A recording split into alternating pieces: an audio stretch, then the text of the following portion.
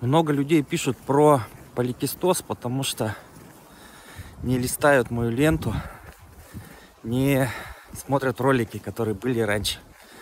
Я уже говорил в нескольких роликах и отвечал, что эта болезнь не такая, как ангина, когда надо полечить горло, а это сбой гормональный, сбой щитовидки. Соответственно, подход должен быть комплексный.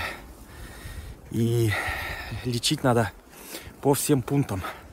И все не так просто. Лечение у каждого по-разному происходит. Даже врачи дают разные абсолютно схемы, потому что подходят не всем и не всегда.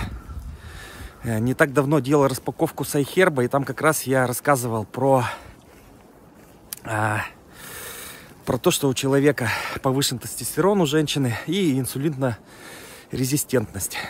Вот, соответственно, мы все это дело должны были приводить в норму. Так вот эти же самые признаки очень часто бывают при поликистозе. Поэтому кто понял, тот взял на вооружение, посмотрел, там все добавочки перечислены. Ну, еще раз отмечу, что, как правило, пьют инозитол, альфа-липоевую кислоту, эр-липоевую кислоту, берберин. Обязательно дефициты белка, цинка, железа надо проверить. Поэтому плюс диета, соответственно. Рекомендую на это обращать внимание. По-другому никак не получится.